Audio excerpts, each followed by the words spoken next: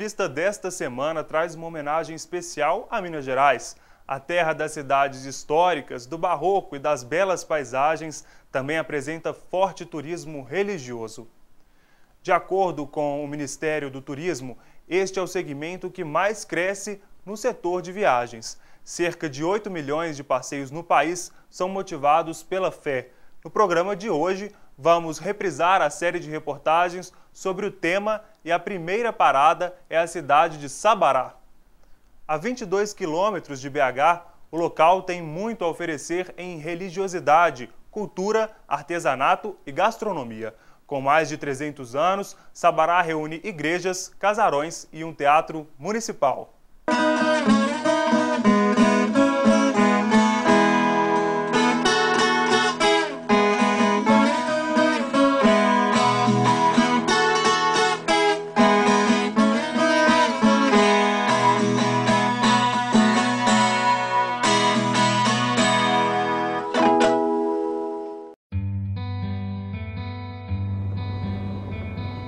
Ser mineiro é ter história. Pelas ruas de Sabará, a frase de Fernando Sabino parece ecoar pelas casas e ladeiras e se tornar realidade. Cada detalhe encontrado aqui revela as raízes de um lugar onde parece que o tempo não passa. E é assim que a cidade surge, tão aconchegante e hospitaleira que há muito serve de abrigo para uma antiga moradora, a fé. A cidade tem um, um, um número muito grande de, de, atividades religiosas, muito intensas. A cidade é muito, tem uma religiosidade muito grande, muito intensa. Samará é, é, tem realmente, além do grande número de igrejas, uh, são muitas as festas religiosas.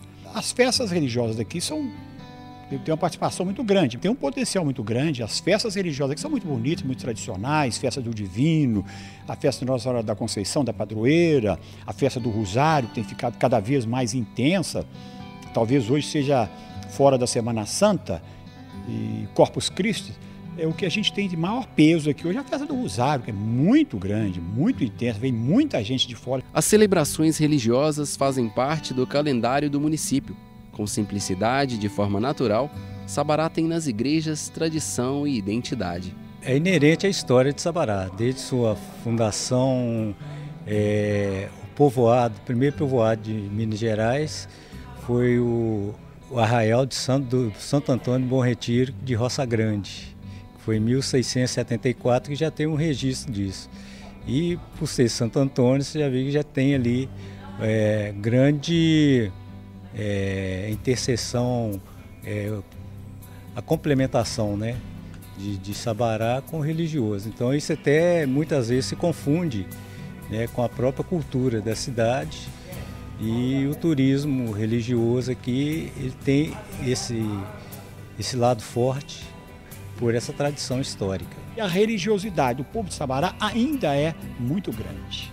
Não apenas na religião e nas belas igrejas. Quem visita Sabará se depara com diferentes épocas. É o passado se fazendo presente. Como a Casa da Ópera, o segundo teatro mais antigo do Brasil, ele ainda está em atividade e mantém harmonia entre o passado e a cidade.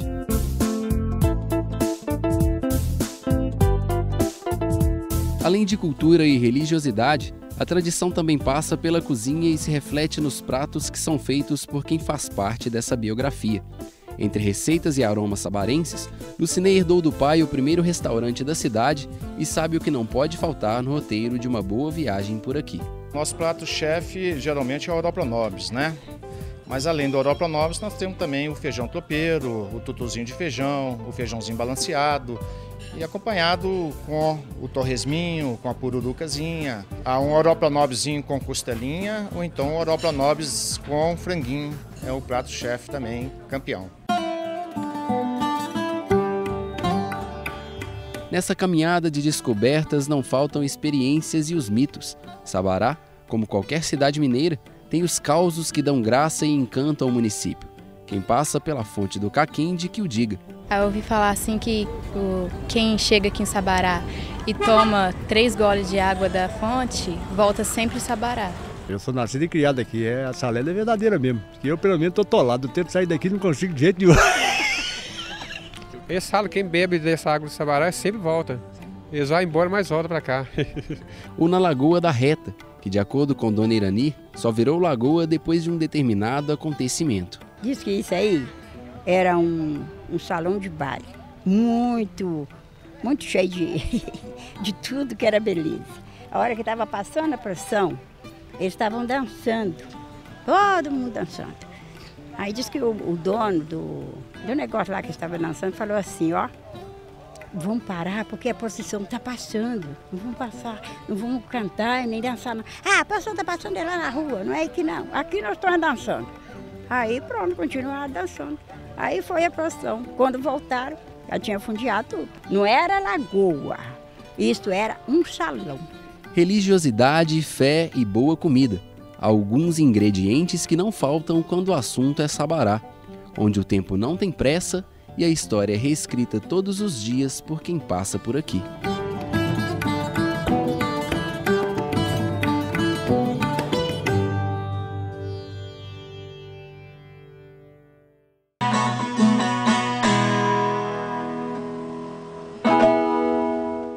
1.746 metros de altura separam do chão o topo da Serra da Piedade, em Minas Gerais.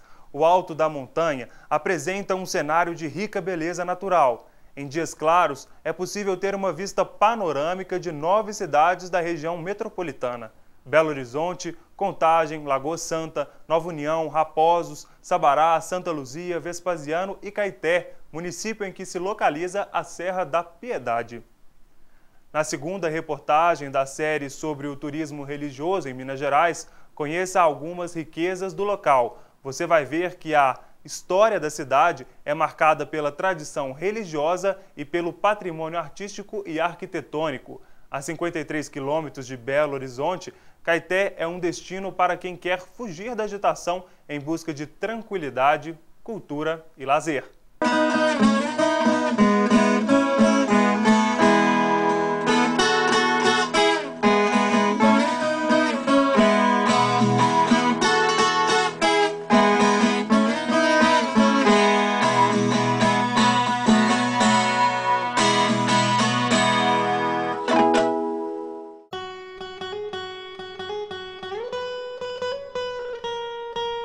Beleza, graça e religiosidade se fundem em um só lugar.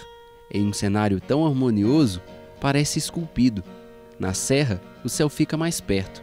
A piedade é só mais um dos atributos de um povo que tem a fé como parte da história e forma o cartão postal que enche Caeté de orgulho, a Serra da Piedade.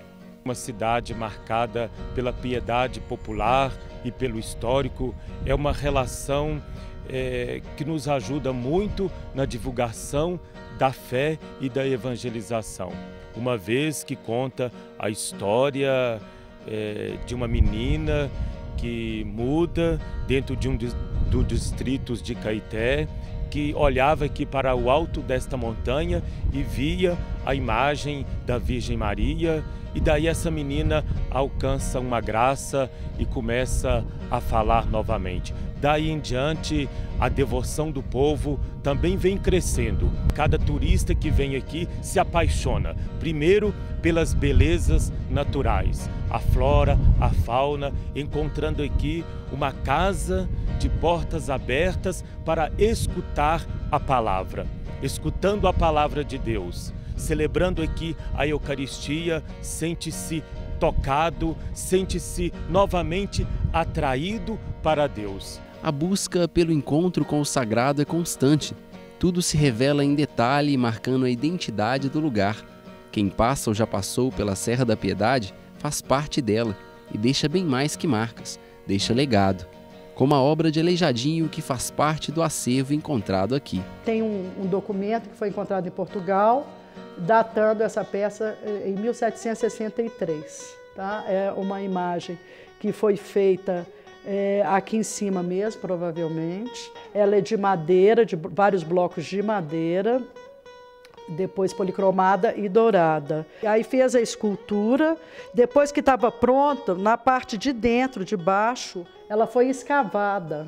Ele escavou ela toda para é, a imagem ficar mais leve. E já devia ter conhecimento da, da, da umidade alta aqui do Alto da Serra, então é, é esse, esse recurso técnico era muito usado nesses casos. Os tesouros daqui vão muito além do que é material. A maior riqueza do lugar é, sem dúvida, as pessoas que ajudaram a escrever cada parágrafo dessa história praticamente já virou minha vida, né? A maior, a maior parte da vida aqui. Eu já vim sabendo um pouco por ter recebido um milagre de Nossa Senhora quando eu tinha 13 anos de idade. Eu caí numa cachoeira que ninguém sai lá vivo. E eu saí de lá vivo. Diz que quando eu caí a primeira queda, eu gritei Nossa Senhora. Acredito, pode ser que no, no trampo da vida eu vinha vim ajudar aqui. É uma vida. Para além das fronteiras da crença, também existe um cenário de descobertas e mistérios que deixam o lugar ainda mais fascinante. Na Gruta dos Eremitas, que fica próxima à serra, há quem diga que as pedras que por aqui encontramos vieram do mar. Olha, essa história de pedra marítima foi descoberta por Vlad Portinari, que hoje é professor da UFMG. Ele diz que esta pedra, essas duas pedras, é sinal marítimo, que não se pule uma pedra dessa sem, sem a força da água do mar. Daqui do alto, aromas da natureza afloram e cercam a paisagem. Outros cheiros também chamam a atenção e atraem quem valoriza uma boa receita. Pratos especiais fabricados aqui, como o queijo do Frei Rosário, revelam que a tradição também tem sabor. A procura desse queijo ela é muito grande, tem, existe fila de espera. Esse queijo, para ele chegar nesse ponto que ele se encontra, ele vem um queijo natural da Serra do Salitre, ele chega aqui para ser curado aqui. Ele fica aqui num processo de 40 a 60 dias para ele criar essa espessura que ele está criando aqui. Ó. Isso aqui são fungos, conhecidos como os fungos. Só se produz aqui, depende da latitude, altitude, da fauna e da flora. As pessoas comparam muito como queijo franceses. Tem que conhecer o queijo, que vale a pena, é muito saboroso. E é assim pelas curvas da estrada de Caeté, que quem vem na Serra da Piedade se sente privilegiado e, entre riquezas e descobertas, vai levando na memória os momentos marcantes que servem de inspiração. Com certeza, quem vem pela fé, pela devoção à Nossa Senhora da Piedade, quem vem pelo turismo, seja religioso ou é, como um passeio, com certeza ele encontra o belo. Contemplar tudo isto aqui é ver a presença do belo, e belo é Deus.